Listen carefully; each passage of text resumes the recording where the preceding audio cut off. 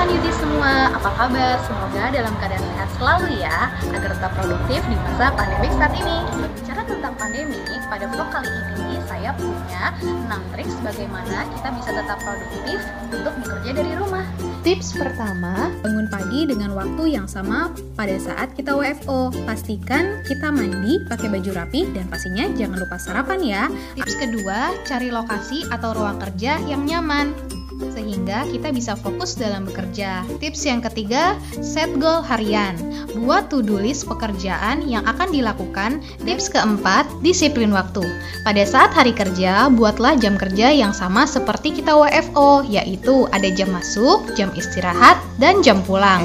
Tips yang kelima, olahraga. Tidak perlu lama-lama, cukup 15-30 menit aja. Yang penting kita konsisten agar kita selalu fit dan jangan lupa makan-makan yang sehat juga ya. Tips terakhir, yaitu learn new skill. Sebenarnya, selama WFH, kita menyempatkan waktu loh untuk belajar hal-hal baru, yang di mana itu bisa jadi hal menguntungkan bagi kita. Oke, insan Yuti semua, itu adalah 6 triks gimana kita bisa tetap produktif selama WFH. Semoga tips ini bermanfaat ya. Pastikan stay at home, stay healthy, and stay produktif.